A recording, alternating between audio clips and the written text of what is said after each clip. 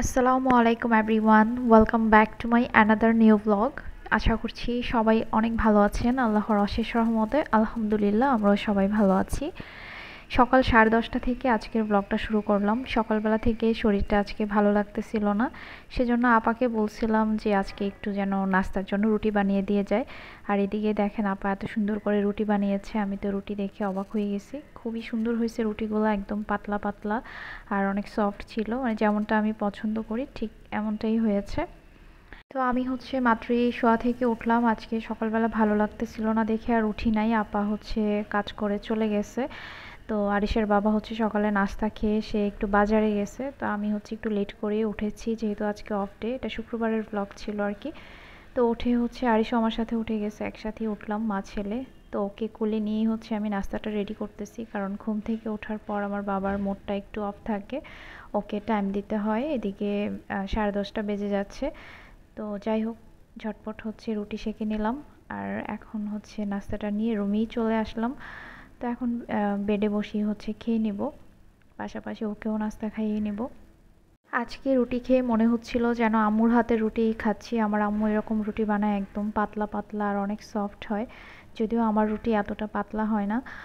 তো যাই হোক নাস্তা খাওয়ার পর হচ্ছে আমি এখন একটু ভেন্ডি কাটবো। আপা আর আপাকে দিয়ে আজকে আর কাটাকাটি করাই নাই, কারণ আমি কনফিউজড ছিলাম যে আজকে কি রান্না করব। যদিও প্রতি শুক্রবারে আমি একটু স্পেশাল রান্না বান্না করে থাকি, তবে আজকে আমি কোনো স্পেশাল রান্না করব না, আজকে একদম সাদামাটা রান্না করব। আর এদিকে ভেন্ডিগুলা কয়েকদিন ফ্রিজে ছিল, যার কারণে একটু শক্ত হয়ে গেছে। সাথে সাথে ভাজি করে ফেলে নিয়ে আসার পর এতটা শক্ত থাকে না। যাই হোক তারপর এখানে আমি হচ্ছে মাছের লেজ নামিয়ে নিলাম। মাছ খাওয়া হয়ে গেছে, লেজগুলা রয়ে গেছে। তো চিন্তা করলাম লেজগুলা দিয়ে হচ্ছে আমি ভর্তা করে ফেলব। আর এক পিস মাছ হচ্ছে ভেজে নিব, আরিশকে আজকে ভাজা মাছ দিব। তো যাই হোক, এখানে আমি তিনটা মাছের লেজ ছিল, এগুলোই নামাই নিলাম আর কি। এখানে রুই মাছের লেজ ছিল দুইটা আর কাতল মাছের একটা। আর হচ্ছে ডাল রান্না করব। এই হচ্ছে আজকে আমার সাধারণ রান্না। তো আমি এদিকে হচ্ছে এগুলা সব গুছিয়ে নিয়ে প্রথমে ভাজিটা বসিয়ে দিচ্ছি আর তারপর পাশাপাশি মাছ, মাছের লেজগুলো আমি ফ্রাই করে নেব। আর পেঁয়াজ আগে কাটাই ছিল ফ্রিজে আপা কেটে দিয়েছিল। বহুদিন পর আজকে আপনাদের সাথে একটা লং ব্লগ শেয়ার করছি। ব্লগটা একটু বড়ই হয়ে গিয়েছে আর বেশ কয়েকদিন যাবৎ ছোট ছোট ব্লগই দেয়া হচ্ছে। মানে লাস্ট কিছুদিন আমি যত ব্লগ দিয়েছি, ছোটই হয়ে যাচ্ছে ব্লগগুলো আজকে চিন্তা করলাম একটু বড় ব্লগ দিয়ে, যারা আমার ব্লগ পছন্দ করেন আপনারা, আপনাদেরকে একটু খুশি করে দেই, কারণ বড় ব্লগ দেখতে অনেকেই অনেক পছন্দ করেন। যাই হোক এখানে আমি সামান্য পরিমাণে একটু হলুদের গুঁড়া আর লবণ দিয়ে আমি সব কিছু নাড়াচাড়া করে এখন চুলার হিটটাকে একদম মিডিয়াম টু লো হিটে রেখে ভাজিটা করে নিব। আর ভেন্ডি ভাজি হতে খুব একটা দেরি লাগে না। এদিকে আমি রান্নাঘরে, রান্নার কাজ করতেছিলাম আর ওইদিকে একটা ঘটনা ঘটে গেছে। একটু পর আপনাদের সাথে আমি এটা শেয়ার করছি। আমি আসলে এটা মানে শেয়ার করার একটা কারণ আছে। কারণ যেই ঘটনাটা ঘটেছে মানে ওই যে জিনিস নিয়ে ঘটনা ঘটেছে, সেই জিনিস নিয়ে আমি অনেক এক্সাইটেড ছিলাম আর ব্যাপারটা আমি আপনাদের সাথে শেয়ারও করেছিলাম সেই জিনিস নিয়ে আর কি। তো একটু পর আমি আপনাদেরকে দেখাচ্ছি। আমি সরাসরি ক্যামেরাতেও আসব। একটু ওয়েট করেন। তো মজার একটা ঘটনা ঘটেছে। এদিকে মাছের লেজগুলাতে আমি লবণ, হলুদ, মরিচের গুঁড়া সুন্দর করে মাখিয়ে নিয়ে এখন ফ্রাই হতে বসিয়ে দিব। আর আজকে মাছের এই ভর্তাটা বানাবে আমার হাজব্যান্ড কারণ লাস্টের দিকে হচ্ছে ও বাজার নিয়ে আসার পর আমি অনেক ব্যস্ত হয়ে গিয়েছিলাম বাজার গুছানো নিয়ে। আর যেদিন হচ্ছে বাজার করার থাকে সেদিন হচ্ছে মানে অনেক বেশি কাজ থাকে তো রান্না বান্নাটা শর্টকাটে করে ফেললে হচ্ছে সুবিধা হয় আমার জন্য। তো সেজন্য আজকে আর খুব বেশি কিছু রান্না করতেছি না। আর আপা যেহেতু সকাল সকাল এসেই কাজ করে চলে যায়, তো বাজার গুছানোতে হেল্প করতে পারে না আমাকে। দেখা যায় যে ও বাজার নিয়ে আসতে আসতে বারোটা, সাড়ে বারোটা বেজে যায়। আর আমরা যে এরিয়াতে থাকি, এই এরিয়ার পাশাপাশি যে বাজার, ওখানে নাকি বাজার, মাছের বাজার বসেই দশটার থেকে আর কি মাছ টাছ আসে।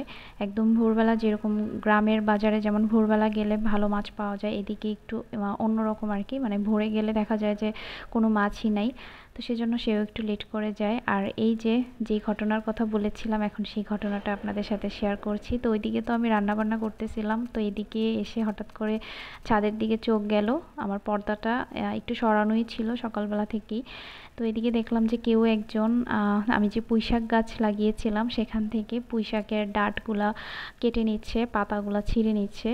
আমি হঠাৎ করে এদিকটা এসে ওনার পুঁইশাক পাড়া দেখে একটু অবাক হয়ে গেছি। উনি এত সুন্দর করে পাতা ছিঁড়তেছিল পারতেছিল মনে হচ্ছে উনি নিজের হাতে খুব যত্ন করে গাছগুলো লাগিয়েছে।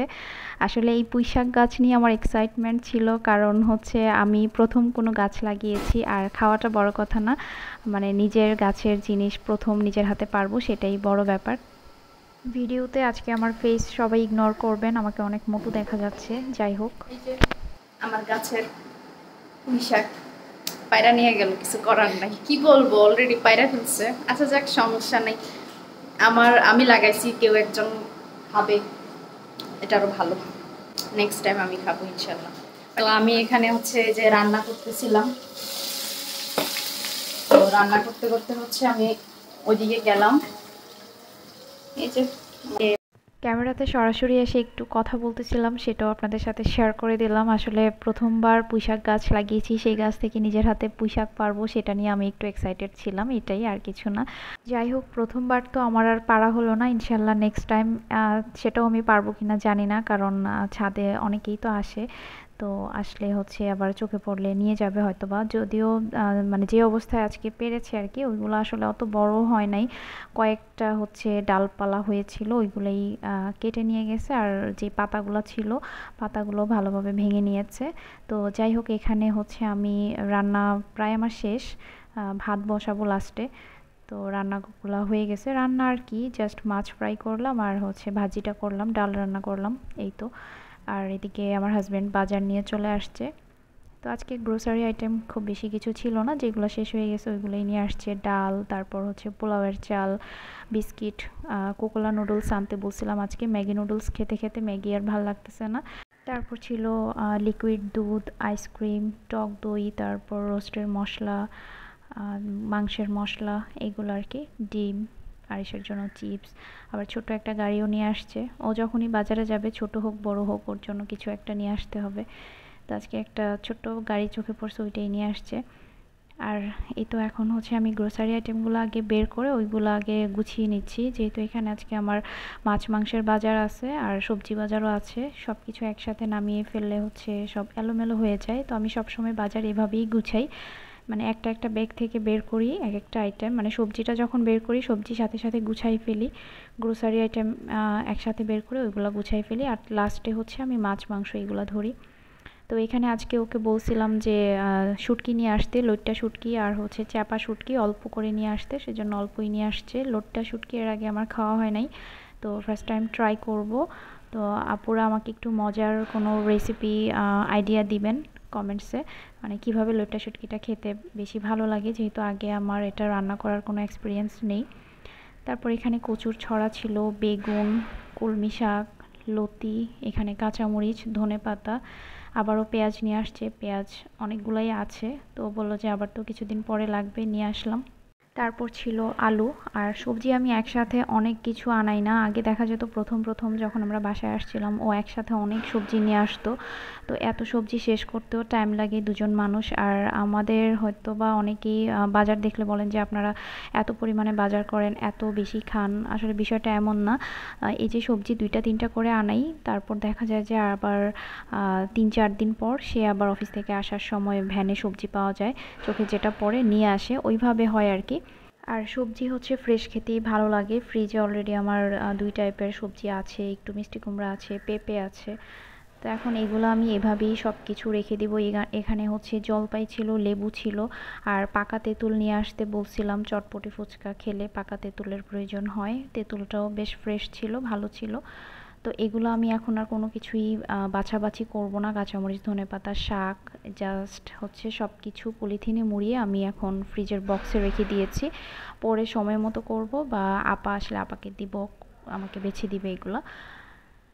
তো এই তো সাথে সাথে সব কিছু গুছাই নিলাম। আর কচুর ছড়া আমি ফ্রিজে রাখি না, এগুলো এমনিতেই রাখব।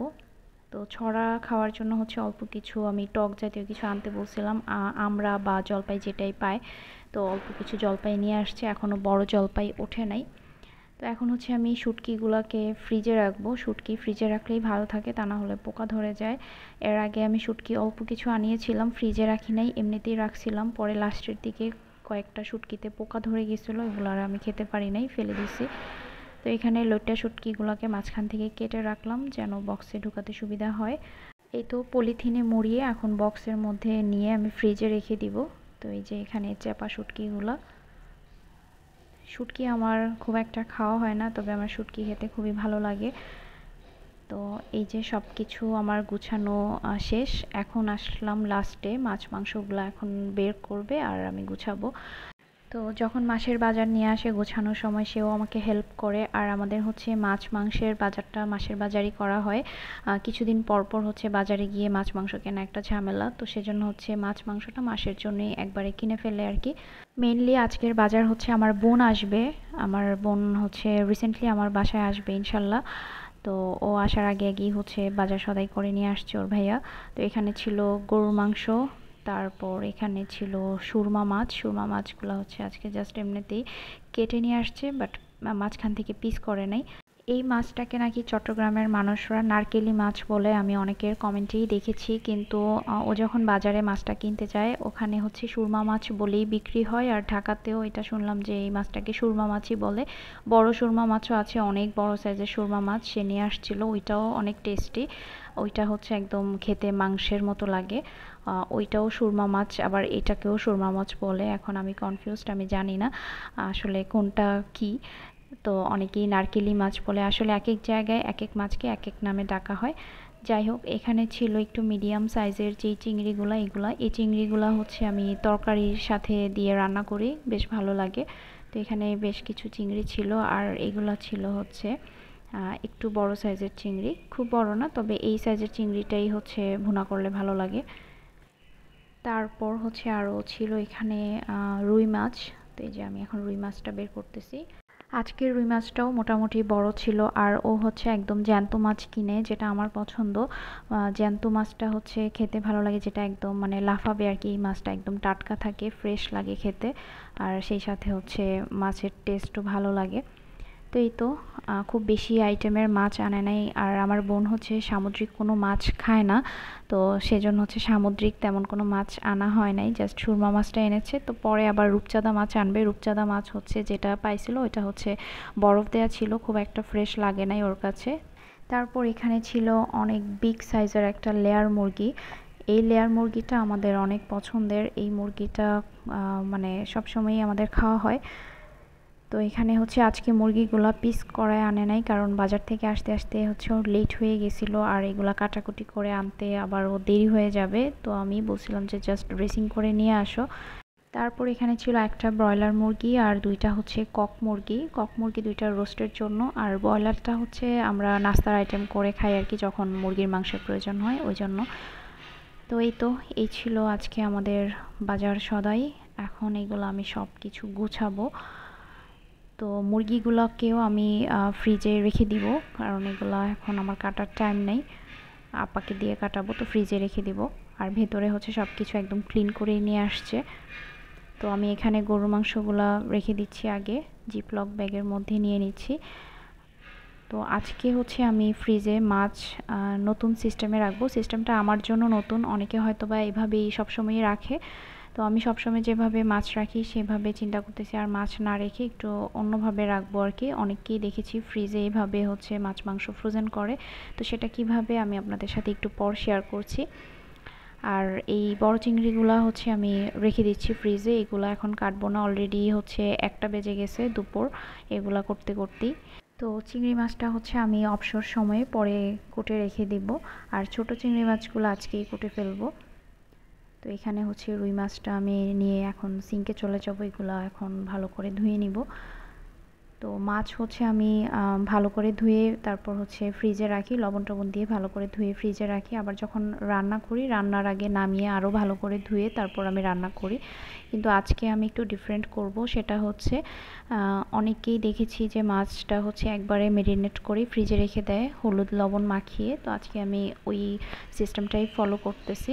তো এখানে ভালো করে হচ্ছে আমি প্রথমে মাছের যে রক্ত, রগ এগুলো ফেলে টেলে মাছটা একবার পরিষ্কার করে নিচ্ছি। তারপর এখানে হচ্ছে আমি লবণ দিয়ে মাছটা আবারও ভালোভাবে বেশ কয়েকবার পানি দিয়ে ভালো করে পরিষ্কার করব। তো আমার মাছটা সব কিছু ভালো করে পরিষ্কার করা হয়ে গেছে, সিঙ্ক পরিষ্কার করে নিলাম। তো এই যে মাছগুলোকে সুন্দরভাবে লবণ দিয়ে আমি ধুয়ে নিয়েছি।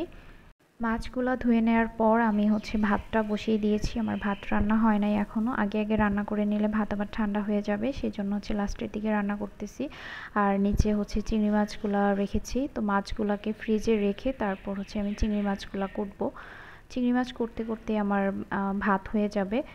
ভাত বসিয়ে আমি এগুলো করতে, করতেই হচ্ছে কেটে নেব। আর চিংড়ি মাছ করতে খুব একটা টাইম লাগে না। তো এখানে এই যে রুই মাছের মধ্যে আর হচ্ছে সুরমা মাছের মধ্যে হলুদ, লবণ মাখিয়ে আমি ভালো করে মেখে ফ্রিজে রেখে দিব আর কি জিপ জিপলগে করে। তো এভাবে একবারে ফ্রিজে রেখে দিলে নাকি মাছের টেস্টটা অটুট থাকে মানে একদম ফ্রেশ থাকে। যদিও আমরা যেভাবে রাখি, ওইভাবেও তো ফ্রেশ থাকে, কিন্তু এই সিস্টেমটা আমার এর আগে কখনো করা হয় নাই। তাই ভাবলাম যে এইভাবেই করে রাখি, দেখি যে কেমন লাগে। তো বড় মাছগুলো আমি তিনটা প্যাকেটে করে নিয়েছি। অনেক সময় দেখা যায় আমার দুই পিস রান্না করা লাগে, অনেক সময় দেখা যায় যে চার পিস রান্না করি এক এক সময় এক এক রকম। তো আমি তিনটাতেই রেখেছি, যখন যতটুকু প্রয়োজন ওইভাবেই আমি করব। আর মাথা দিয়ে আমি মুড়িঘণ্ট রান্না করব, মাথাটা আলাদা রাখলাম। মাছগুলোকে ফ্রিজে রেখে এখন আমি হচ্ছে চিংড়ি মাছগুলো কেটে নিচ্ছি। তো আসলে সিস্টেম করে কাজ করলে টাইম বেশি লাগে না, ঝটপট কাজ শেষ হয়ে যায়। আর সিস্টেম মতো কাজ না করলে দেখা যায় একটা দুইটা কাজ নিয়ে সারা দিন লাগানো যায়, এটা হচ্ছে নিজের কাছে। তো আজকে আমি যেটা করব, চিংড়ি মাছের মাথাগুলো ফেলব না। ছোট কিছু অল্প অল্প ছোট চিংড়ি ছিল, সেগুলোও আমি ওই মাথার সাথে দিয়েছি। চিংড়ি মাছের মাথা দিয়ে অনেকেই দেখেছি যে বড়া খায়, যদিও আমরা শুধু চিংড়ি মাছটা দিয়েই খাই। মাথা দিয়ে এর আগে কখনো খাওয়া হয় নাই। আর অনেকখানি করেই মাথা ফেলে দিয়ে আমি মাছটা কেটেছি। তো এই যে এখানে চিংড়ি মাছের মাথা লেজটাকে আমি হচ্ছে একটু পেঁয়াজ দিয়ে ব্ল্যান্ড করে নিয়েছি। এটাকে আমি বক্সে নিয়ে ফ্রিজে রেখে দিব। এটা দিয়ে হচ্ছে মসুরের ডাল দিয়ে চিংড়ি মাছের বড়া করব আর কি তো চিংড়ি মাছের মাথাটা এর আগে খাওয়া হয় নাই, এই প্রথমবার আমি রাখলাম এটা এরকম করে ব্ল্যান্ড করে দেখি টেস্ট কেমন আসে। ভালোই আসবে যেহেতু। চিংড়ি মাছেরই তো মাথা আর লেজ, অবশ্যই ভালো আসবে। আর এখানে আমার হাজব্যান্ড অনেক মজা করে মাছের লেজ ভর্তা বানিয়েছে। চিংড়ি মাছগুলো কোটার পর আমি একটা প্যাকেটেই রেখেছি। যখন রান্নার সময় যতটুকু প্রয়োজন অতটুকুই নিব আর মাথাগুলো লবণ দিয়ে ধুয়ে ব্ল্যান্ড করেছি।